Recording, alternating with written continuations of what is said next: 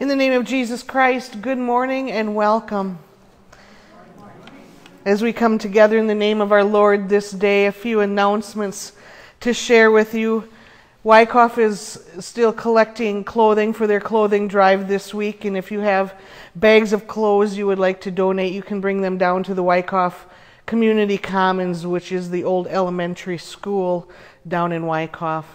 The first day that they will open the drive for folks around the whole area to come and, and, and look and take the clothes that they want will be this Saturday from 10 until 2 p.m. If you want to get it to me, I can get it on the White House too. Okay, great. Thank you so much, Diane. Also on uh, Octo- uh, October 28th, Saturday, October 28th, is Brownsdale's Cream Chicken and Biscuit Dinner from 4:30 until 6:30. So if you're looking for a good meal on the 28th, head over to Brownsdale and have a delicious meal and some fellowship with great friends. Are there any other announcements or joys or concerns? Yes. Um, Wanda Evans, who was a past member of our church, passed away this week. Wanda Evans? Thank you. Wanda Evans, she said that's. Oh, okay, gotcha. Continued prayers for Mason Meyer.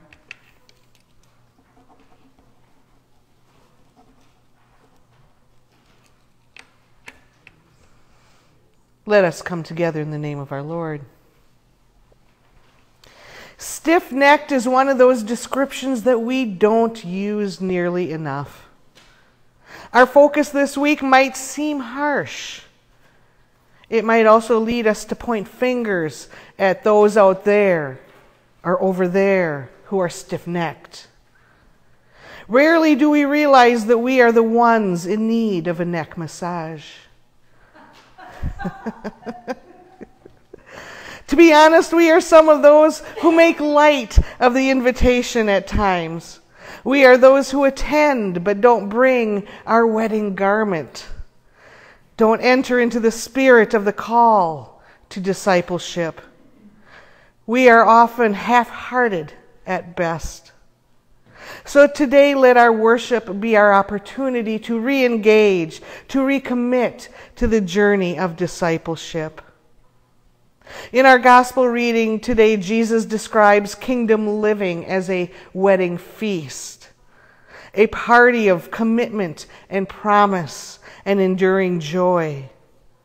Yes, the parable speaks of the seriousness of this invitation and about the punishment dispersed for missing out or making light of the call. But we are not the ones who determine the punishment. We are not the ones who cast out those who don't fit in. That's not our job.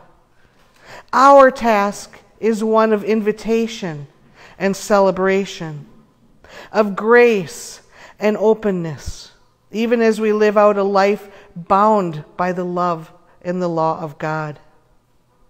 Our job is to invite the world to the wedding banquet. We must show this by our hospitality and our grace, that we understand the depth of the call to be people of law and love. The community then will come alongside. We are to boost one another up when needed. We are to take turns at stepping up, and we must find ways to work side by side, showing the neighborhood that we are producers of the fruit of the kingdom. May our worship today be reorientating as we find our way back again and again. And let us always remember to come back so that we can continue on for that long haul.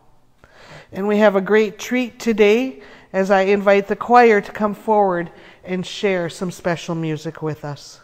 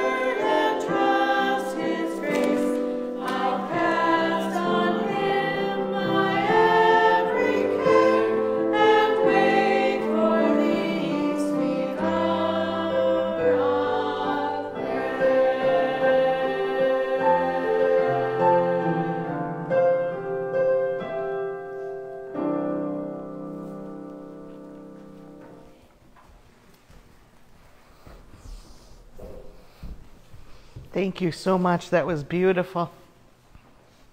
Will you join me in our call to worship? All rise. Come, now is the time to worship. When the Israelites worshiped the golden calf, God listened to Moses and chose to correct instead of destroy. Jesus tells a story of a wedding banquet where the guests dismissed the invitation and harmed the messengers. So the king invited people off the streets and welcomed all who received the invitation in earnest. God resistly invites us to return to God. Too often we turn from God's ways, choosing our stiff necked insistence that we know what is best instead of trusting God's provision, love, and guidance.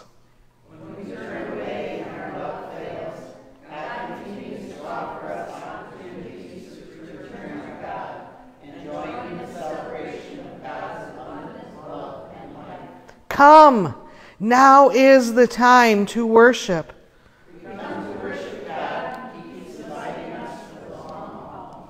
And we worship Him this day by uniting in our prayer for the day. Creator God, the world continues to chide. Sing us one of the songs of Zion.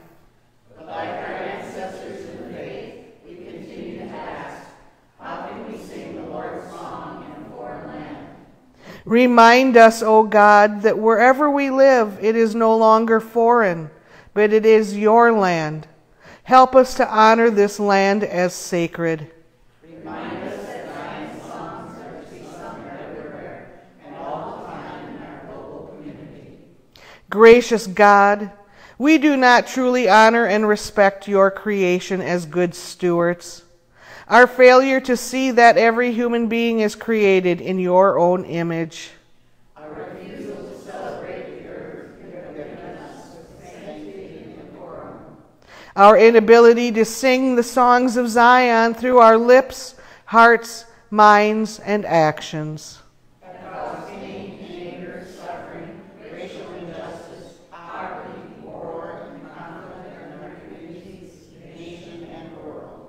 Merciful God, hear our humble confession that we have sinned against you by refusing to sing these songs of Zion. We confess that our silence when colleagues and friends with different skin colors, accents, or cultures have been unfairly treated, has made the oppressor stronger and has harmed the oppressed. We take that responsibility for our weakness and failure. Powerful God, grant us the grace, courage, and wisdom to be dynamic disciples of Jesus Christ, filled with the mighty power of the Holy Spirit. So that we may sing with gusto the songs of Zion wherever we are. So that we live the words of our songs through our acts of holy boldness. So that we might keep marching to Zion. So that we, as baptized Christians, fight against all kinds of racism, inequality, and injustice. Make us new and help us to remember and renew our baptismal covenant. So we might become your beloved and the world may know that we are committed to dismantling all kinds of isms and traditions that tear the fabric of humanity. We commit ourselves to singing a new song, to sing the songs of Zion always and everywhere in our land. Amen. And let us join our voices in singing our praise hymn, hymn 352. It's me, it's me, O Lord.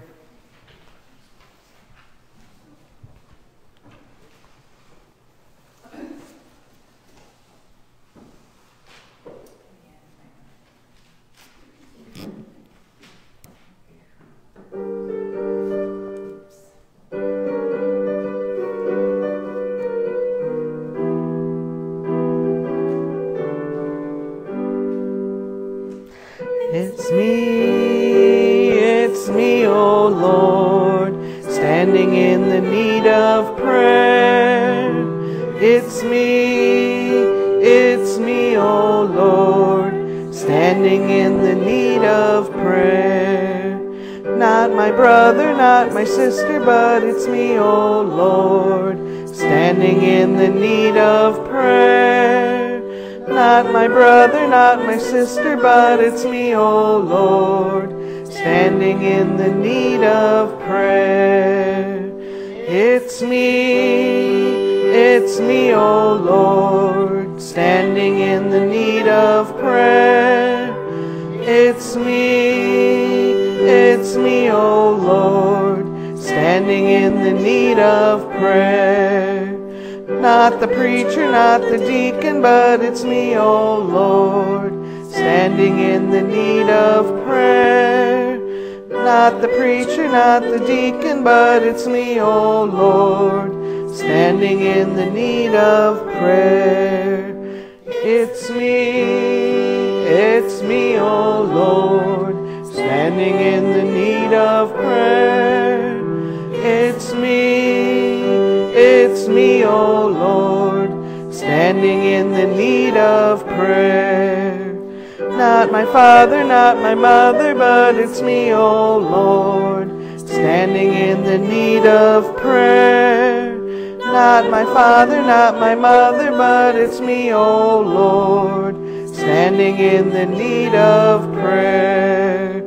It's me, it's me,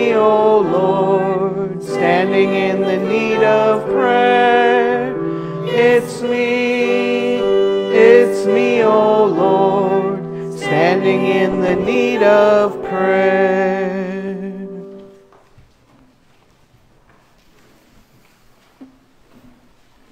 So, if you have noticed after Pentecost and in ordinary time through the summer and this fall, we have been focusing our scripture reading on discipleship.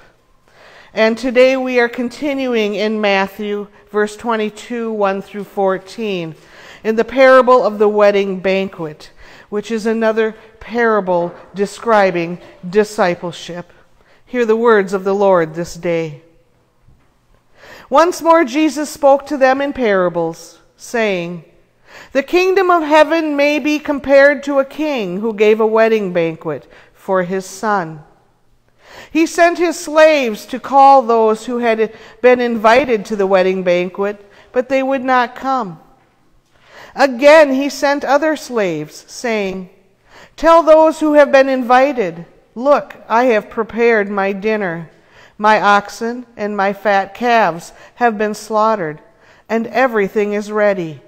Come to the wedding banquet. But they made light of it and went away, one to his farm, another to his business. While the rest seized his slaves, mistreated them, and killed them. The king was enraged. He sent his troops destroyed those murderers, and burned their cities. Then he said to his slaves, The wedding is ready, but those invited were not worthy. Go therefore into the main streets and invite everyone you find to the wedding banquet. Those slaves went out into the streets and gathered all whom they found, both good and bad. So the wedding hall was filled with guests. But when the king came in to see the guests, he noticed a man there was not wearing a wedding robe.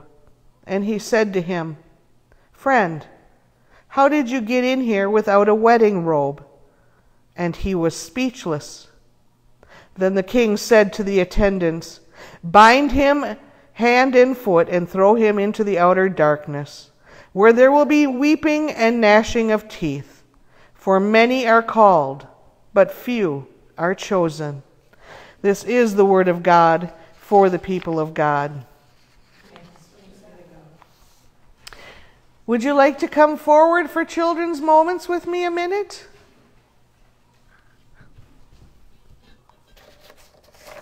Come forward and sit with me a minute.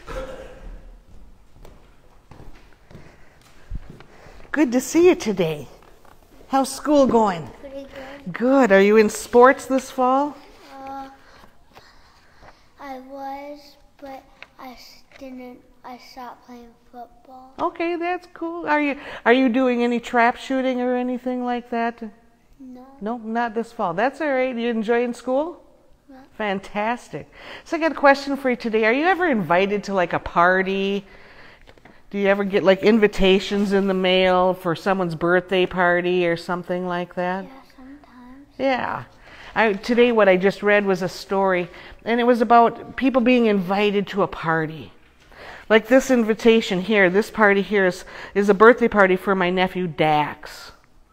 And the party will be on October 31st, because that's when his birthday is. What else happens on October 31st? Well, you dress up, get candy. Halloween. Yes, his birthday's on Halloween. And so they're having a birthday party at his house, and they put on the bottom here to RSVP. Do you know what RSVP means when you get that on an invitation? That means that the, the people who are inviting you, they would like you to let them know if you're going to come or not. So they can prepare and be ready for you to come. So if they say, please RSVP, so we know if you're coming to the party, right? And then there's some parties that we get invited to that we really don't want to go to, right? You know what I'm talking about? You know, and we kind of make up those excuses, you know, I like, you know, oh, I'm sorry I have a bad cold. I just I'm not going to be able to make it to your party or or I got to take my cat to the doctor that day, right? And I can't make any kind of make excuses for the party. Yeah, and that's what Jesus was talking about today. See, he told a story about a king. And it was a parable, and a parable is kind of a story with a lesson. And this parable was a lesson about the king was God. And God had created this banquet for inviting people into his kingdom. And the first group of people that he invited, they started making excuses not to show up and they had better things going on. And so God got mad, and then he said to his servants, which are the disciples, Go out and invite everybody you see into my party, into my kingdom. Go out in the streets, no matter who they are, tell them everybody is invited. And so then they did, and then people started showing up and showing up and, and, and, and wanting to RSVP and say that they would be there. And we're kind of some of those people that are sitting here today. They're showing up to God's invitation. And God's invitation is to come to church, and it's to come to Sunday school, and to read our Bible. And on the invitation, He also wants us to also invite other people to come in to what we call in the story a wedding banquet, but it's to come in and know who God is and learn about his kingdom. And that's what he's asking us to do today. So, what I want you to remember this week is always take chances to invite your family and your friends. Come to church. Try it out and invite them to know who Jesus is in their life, okay? Should we pray? Let's pray. Dear Father, thank you for Jesus, your Son. We thank you for his invitation to come and receive the free gift of life which he offers without making excuses. And when we receive your invitation, we will say, Yes, Lord, I will be coming. Amen. Thanks for coming out.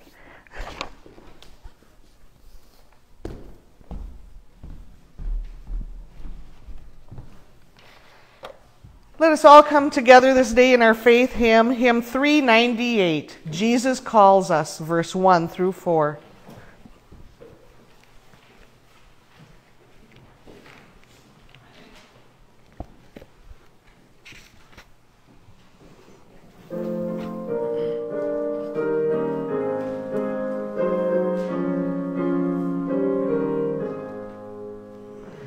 Jesus calls us o'er the tumult of our lives, wild restless sea. Day by day his sweet voice soundeth, saying, Christian, follow me. As of old the apostles heard it by the Galilean lake, turn from home and toil and kindred, leaving all for Jesus' sake. Jesus calls us from the worship of the vain world's golden store, from each idol that would keep us saying, Christian, love me more. In our joys and in our sorrows, days of toil and hours of ease, still he calls in cares and pleasures. Christian, love me more than these.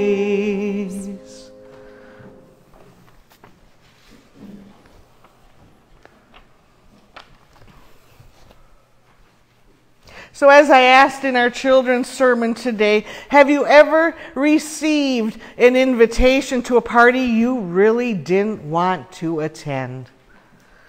What did you do about that?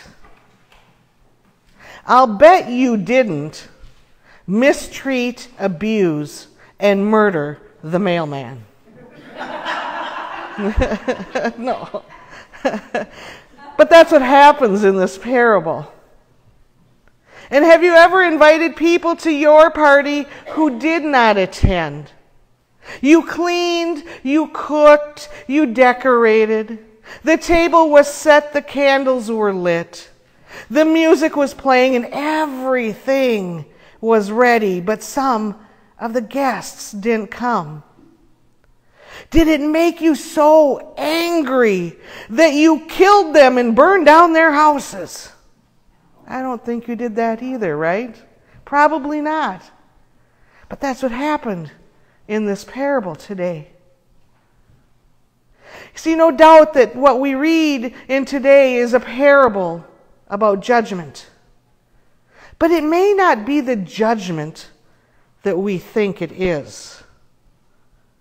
Speaking about the first group of guests, the king says those invited were not worthy. So, by implication, those in the second invited group were worthy. Now, we tend to get nervous and fearful when God begins making judgments because it leaves us wondering whether we're in the first group or the second group. Are we unworthy or are we worthy? And I suspect our nervousness and fear about God's judgments arise from the assumption that God judges us in the same way that we often judge others. And more often than not, our judgment of others are judgments of excluding others. Those who are living right versus those who are not. What if it's just the opposite with God? What if Jesus is trying to shock us into seeing that the kingdom of heaven is not business as usual according to our standards? What if? What if God's judgment on our lives is one of grace and acceptance and invitation? A judgment of inclusion. And if that's true, then what separates or distinguishes the first invited guests from the second? The difference isn't that one was more deserving than the other. The first invited guests were recipients of the king's invitation and favor, but but so were the second invited guests. And so was the man who showed up without a wedding garment. They were all invited. They were all favored. And none of them had done anything to earn or deserve an invitation. It was just given. And if that's true for them, isn't it true for us? You see, the difference isn't that the king liked one group more than the other group. His sole motivation is to share his banquet. He wants someone, anyone, everyone to join in his joy and his celebration and be a part of his kingdom and life. Both groups were given the same opportunity. And if that's true for them, isn't it true for us? You see, the difference isn't that some guests are good and others are bad. There is no distinction or judgment made based upon behavior or beliefs or attitudes or even morals. To the contrary. With the second round of invitation, the king sends his servants into the main streets with instructions to invite everyone you find. And they did. They went out into the streets and gathered all whom they found, both good and bad. And if that's true for them, isn't it also true for us? Now, that's probably not the kind of social life that most of us live. But the parable is talking about God's kingdom not ours. So, what is it? What is the difference between those who were not worthy and those who were? There's only one thing that distinguishes the first invited guests from the second invited guests it's their presence. They showed up. The second invited guests showed up. The first guests did not. The wedding hall was filled with the second invited guests. But the first invited guests would not come. That's the only difference between the two groups. The key to our life in God is to show up. And that's a lot easier said than done. To be present is difficult work. Think how difficult it is to be present for another person.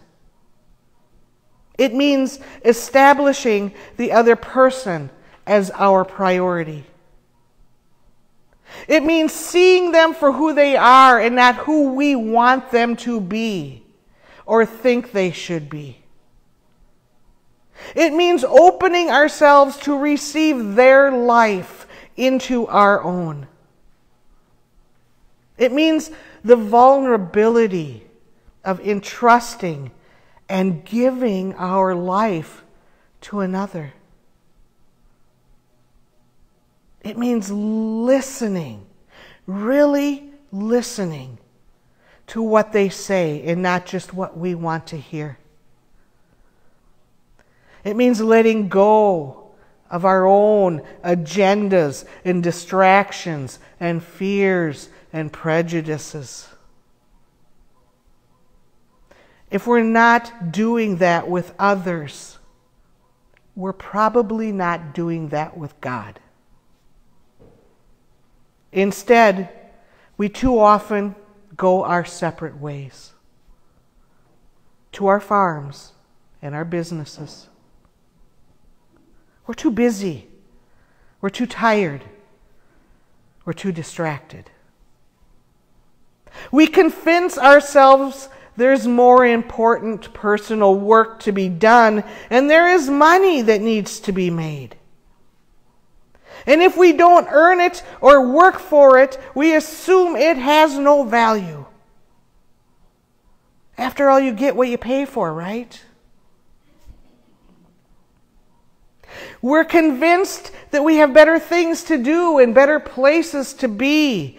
That's what the first invited group did. What they did not realize, and what we sometimes do not realize, is that there is no life outside of the banquet, the kingdom.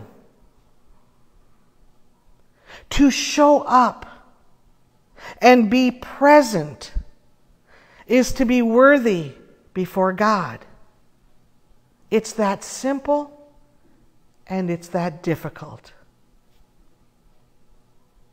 We don't earn or prove our worthiness as a prerequisite to entering the banquet. We show up, be present and discover for ourselves the worthiness God has already known about us. That's when our life begins to change. So, what about the guy who showed up without a wedding robe? This is about more than just a dress code violation. Something else was missing. It says, He was speechless. It was as if he wasn't really there. And Jesus is reminding us that there are times when we show up, but we aren't really present. Our body is there, but we've kind of left the room and our thoughts are on other things. So here's what I wonder What if this man had said something? Anything? What if he had just made his presence known? Not so much to the king, but to himself. What if he would have said this? What if he would have said in response, I was hungry and I smelled food and I trusted you to feed me. I was lonely. I saw the lights on and I trusted you to take me in. I was thirsty I knew there would be wine, and I trusted you to give me a drink. I was naked. I knew people would be well dressed, and I trusted you to clothe me. I was sad and grieving and I heard music and laughter, and I trusted you to share your joy. I was empty. I saw abundance, and I trusted you to fill me. I was dying. I saw the door was open, and I trusted you to give me life. What if he had said any one of those or a thousand other things like them? I think it would have been enough. He would have shown up with all that he was and all that he had. He would have been present. Then the king, I'm sure, would have said to him, Oh, my dear friend, I'm so glad you got my invitation. I'm so glad you're here. You are worthy. You are worthy. And if that's true for him, then isn't it true for us?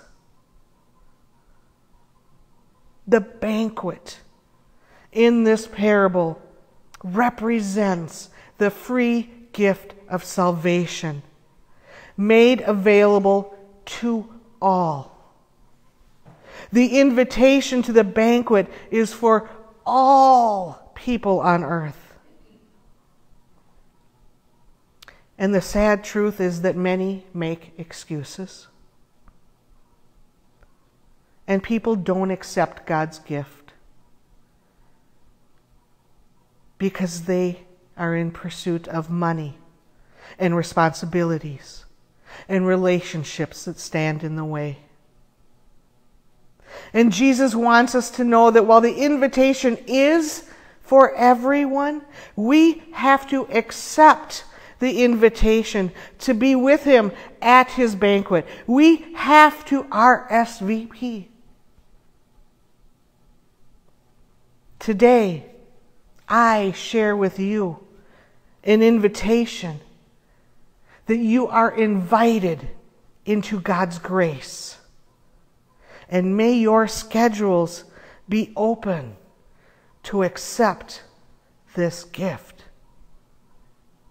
Let us pray.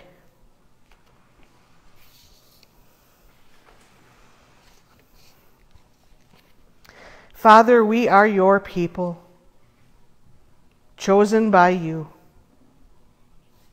As we meet together in this place, help us to listen, to understand, and to remember. Make us aware that we are meeting not simply with one another, but we are meeting here with you. Let your presence be real to each of us. As we pray, may it be just like speaking with you.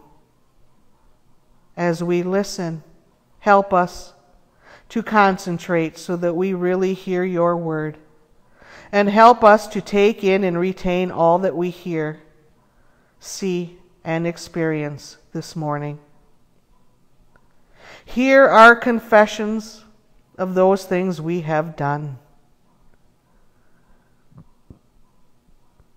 Hear our confessions of those things which we not, ought not to have done. And hear our confessions of what we could or should have done in a different way to better reflect who you are in us. Lord, we raise to you this day our neighbors in this community you have created.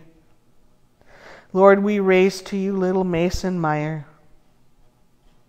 And we raise to you the family of Wanda Evans.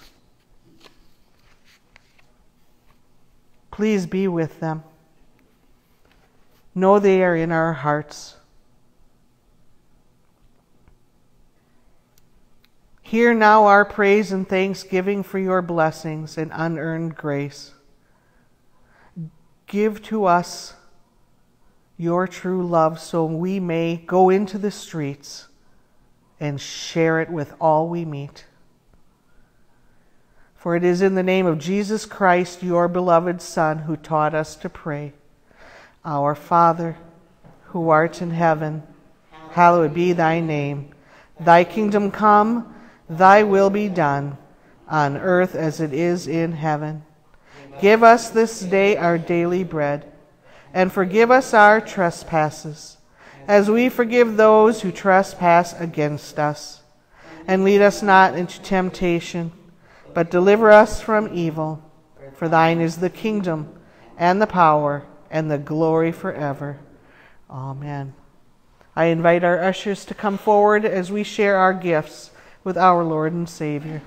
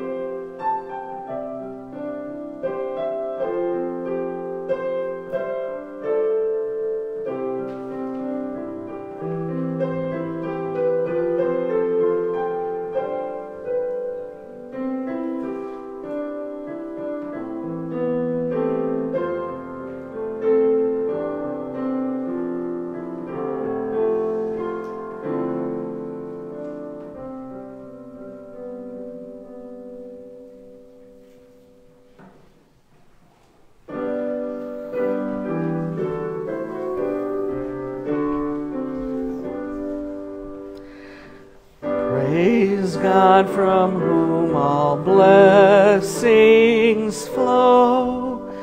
Praise Him, all creatures here below. Praise Him above the heavenly host. Praise Father, Son, and Holy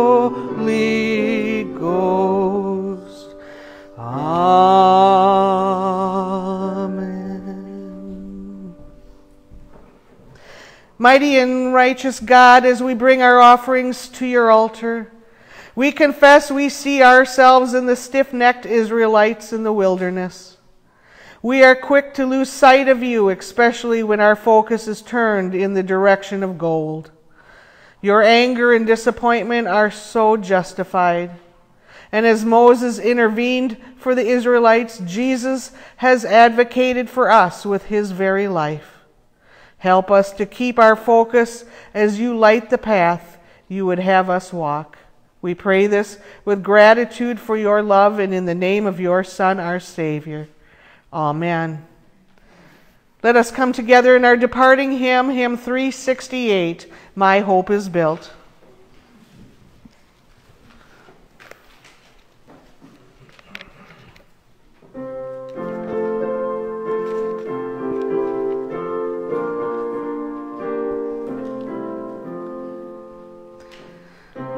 Hope is built on nothing less than Jesus' blood and righteousness. I dare not trust the sweetest frame, but wholly lean on Jesus' name. On Christ the solid rock I stand, all other ground is sinking sand. Other ground is sinking sand. When darkness veils his lovely face, I rest on his unchanging grace. In every high and stormy gale, my anchor holds within the veil. On Christ the solid rock I stand, all other ground is sinking sand. All other ground is sinking sand. His oath, his covenant, his blood support me in the whelming flood. When all around my soul gives way, he then is all my hope to stay. On Christ the solid rock I stand, all other ground is sinking sand. All other ground is sinking sand. When he shall come with trumpet sound, oh, may I then in him be found, dressed in his righteousness alone, faultless to stand before the throne. On Christ the solid rock I stand, all other ground is sinking sand. All other ground is sinking sand. May you go knowing that God invites you today and every day to partake in the abundant life and love God has for you. So may we receive, honor, and celebrate the grace that softens our stubbornness and opens our hearts to share God's love with one another. Amen, and God bless your week. Amen.